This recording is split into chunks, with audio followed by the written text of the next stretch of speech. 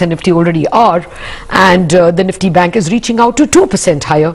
Let's invite our market master, Krishna Kumar Karwa, Managing Director at Emkay Global. Uh, good morning, uh, Mr. Karwa. Thank you very much. Uh, uh, are you also in with the market on this? It seems to be looking past the COVID pessimism and is looking at life beyond. Are you also advising your clients to use the dips to buy? Good morning, Lata. I think after the experience of last time around, investors know that uh, uh, things will improve, and now we have the benefit of experience and expectations of uh, vaccination, accelerated vaccinations also. also.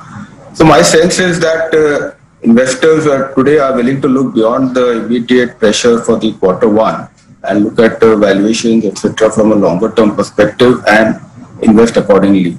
So as you asked about advising, yes, uh, what we are telling our clients is the same thing is that uh, don't get taken in by the temporary headwinds or the temporary macros which looks uh, uh, negative, but look at the longer term picture. And if any investor is giving us money, we are straight investing 70 to 80 percent of that uh, money into the markets currently and just keeping 15, 25, 15 to 20 percent uh, balance to be invested.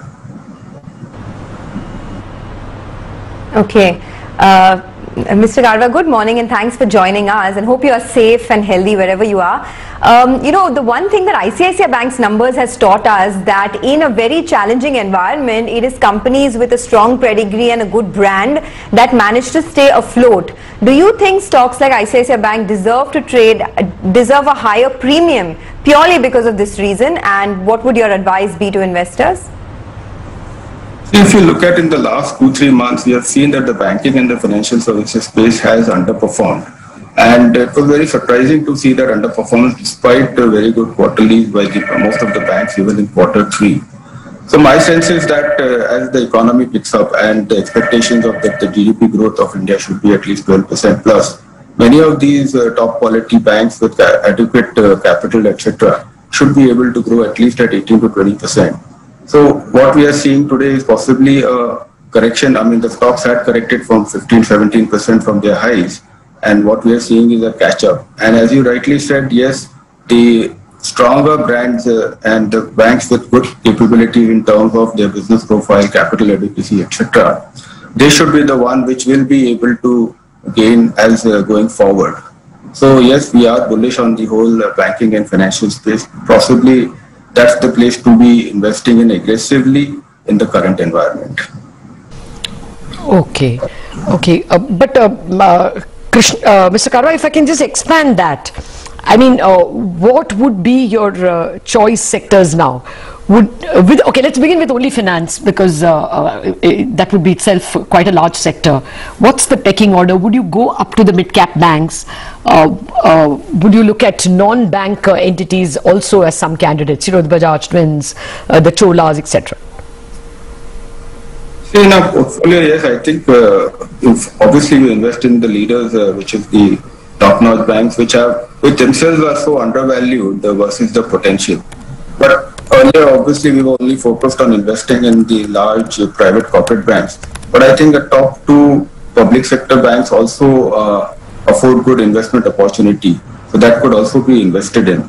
As far as NBFCs are concerned, yes, uh, uh, the good NBFCs in defined spaces, uh, whether it's in housing finance or whether it's in consumer finance, they do offer an opportunity. But my judgment is that some of the valuations in the top-notch NBFCs is possibly they're richly valued and maybe they may not offer uh, sufficient returns for investors to invest in in current prices. Okay. How about uh, companies like HCL Tech? Because, you know, I mean, of course, there's a bit of a disappointment in the numbers, but the deal wins have gone up by 49% in a challenging environment like this. The dividend payout ratio has increased.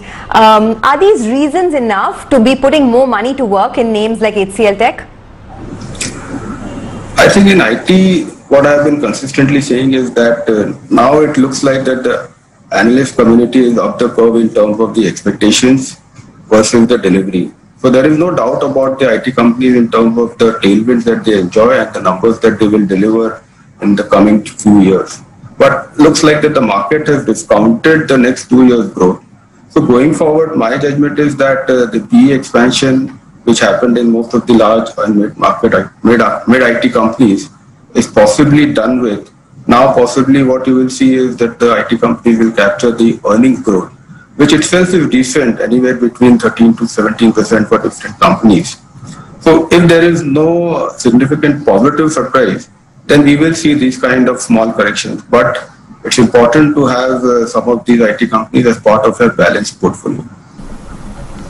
Uh, you know, Mr. Karwa, uh, up until February, when our numbers were coming down to 10,000 and we thought uh, that we can blow the all clear on COVID, we saw mid-caps outperforming. I mean, the first three months were extraordinary mid-cap outperformance uh, over Nifty. Uh, is that phase over now? No, I don't think so. I think uh, what we are going through in mid-cap currently is maybe a kind of consolidation and uh, investors are waiting to see how many of the mid-cap companies perform in light of increasing raw material prices and are they able to maintain their margins, etc. But my sense is that in an economy which is expected to grow by say 12% next year and maybe 7-8% the year after, and uh, these mid-caps have come out of a lot of consolidation. So all the sectoral leaders in the minor sectors that these mid-caps operate in, they still have a lot of steam to grow and to reward uh, investors. I think what investors need to be cognizant of is the valuations at which they are entering these companies, and that will determine the returns that uh, they will make. So my sense is that this kind of a consolidation that we are seeing is a function of bottoms-up uh, thought process of most investors, rather than any challenges in the mid-cap segment. And in I, as you actually, yeah, as far as mid-cap outperformance versus Nifty is concerned, overall, I would think so that the return expectations and the return delivered from mid caps will be far, far superior than the Nifty returns. Okay, by the way, the market is on fire right now. The Bank Nifty is up 700 points and the market breadth is just getting better as we speak. The other space I wanted to discuss with you, Mr. Karwa, is the NBFCs. We have the Bajaj twins, Bajaj Finance, FinServ reporting their numbers, uh, you know, later this week. And you also had the likes of M&M Finance reporting as well.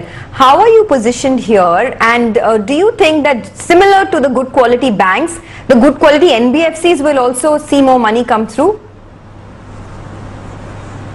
Alluded earlier also in the to that I think the in the NBFC space we'll have to look at every individual NBFC because I think they have their sectoral focus. So I think there are some challenges which are expected as far as the rural India facing NBFCs are concerned because this time around it looks like that the COVID spread is even equally strong in the tier 2, tier 3 towns, uh, unlike earlier last time when it was more in the cities. So that could be some challenges in the rural India facing NBFCs in terms of their recoveries, uh, etc. But at the same time, NBFCs which are focused on commercial vehicle finance or affordable home finance, uh, they should do uh, well. As far as uh, NBFCs which are consumer facing or uh, consumer durables and that kind of NBFCs, I think they should have some challenges if this COVID spread, the second wave of COVID continues to spread the way it is, then there could be some temporary challenges. But in that space, I think the valuation is what is constraining. Okay, okay, uh, Krishna. Let me put it this way. You know, we are at fourteen thousand five hundred. Uh, would you be confident buying even as we go towards fifteen thousand, or do you think at higher levels you will wait? And secondly, uh, if I were to give you, uh, you know, a hundred rupees, what will be your split, incremental split in terms of sectors? Shweta, I would be very clear that uh, at what level is Nifty at any point of time doesn't constrain us from investing. So whether it is 14,500 or 15,000, that's just a number. Because at the end of the day, uh, you are investing in stocks, which is a function of bottoms up bottoms up opportunities in terms of investing. So yes, at 14,500 we were investors, at 8,000 we were investors, and maybe at 15,000 and 16,000 also we would be investors. The question is in which sector which you asked for. So currently, I think the best place to put incremental money, as I said in the beginning itself, should be into the banking and financial space because there the valuation versus the opportunity uh, seems to be very, very aggressively in favor of the investors. So that's the space where you put your maximum money uh, in. For investors who are slightly more defensive oriented, I think it makes sense to stay invested in IT companies or rather put some money because there is certainty of earnings uh, growth at least, which could be anywhere between 12 to 18 percent, depending on the companies that you invest in. Thirdly, I have been alluding to every uh, in the earlier interview also that we believe that the real estate sector that should uh, be a sector which can deliver very good returns.